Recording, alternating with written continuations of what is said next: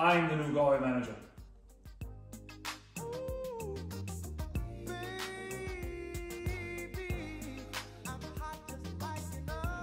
I'm the man that picked him.